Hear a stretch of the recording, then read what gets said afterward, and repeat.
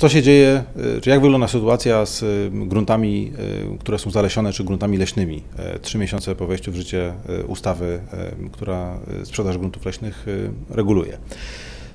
Widzimy zdecydowanie większą wstrzemięźliwość właścicieli gruntów, które są lasami, czyli są ujęte w ewidencji jako, jako leśne, bądź też są zalesione w dokonywaniu sprzedaży tych gruntów. I obawa, cały czas przede wszystkim obawa o to, czy lasy państwowe będą chciały skorzystać z okazji i czy nadleśnictwo skorzysta z prawa pierwokupu przy zakupie, te, przy transakcji kupna-sprzedaży tych gruntów, spowodowały no, zmniejszenie liczby transakcji, zmniejszenie wolumenów i przede wszystkim sprzedający, którzy nie są w sytuacji pod presją, wycofują się z tego rodzaju transakcji. Z drugiej strony cały czas to jeszcze jest relatywnie krótki okres, tak żeby ocenić praktykę realizowania przez nadleśnictwa w różnych częściach kraju e, i korzystania bądź niekorzystania z tego prawa pierwokupu. E, więc cały czas widać taki nastrój wyczekiwania, obserwowania i próbę oceny tego, co się będzie faktycznie działo.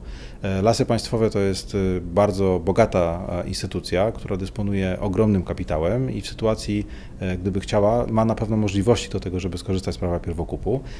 Na razie tutaj mamy zupełnie inną sytuację w porównaniu do na przykład Agencji Nieruchomości Rolnych, która tych środków y, na razie jeszcze e, specjalnie nie ma zabezpieczonych, to się ma podobno zmienić. E, natomiast w, większość osób, które faktycznie nie muszą dokonywać sprzedaży, po prostu z tą sprzedażą się e, wstrzymały. Rynek przycichł i kupowane są przede wszystkim kupowane, sprzedawane są przede wszystkim grunty, które nie są zalesione, które nie są lasami. Tam sytuacja jest jasna, prosta. W przypadku tego rodzaju transakcji do, pojawiła się dodatkowa formalność dodatkowy jeden dokument jest potrzebny do tego, żeby e, w, ze starostwa e, uzyskać, a mianowicie zaświadczenie, że dany grunt nie jest lasem ani nie jest zalesiony. E, I oczywiście mm, jest to niedogodność, ale do przejścia. I tutaj jakby te transakcje są realizowane. Co więcej, widać, że mimo sezonu wakacyjnego zainteresowanie klientów w dalszym ciągu jest. Klienci jeżdżą, oglądają, szczególnie tutaj w okolicach tych gmin, powiatów podwarszawskich.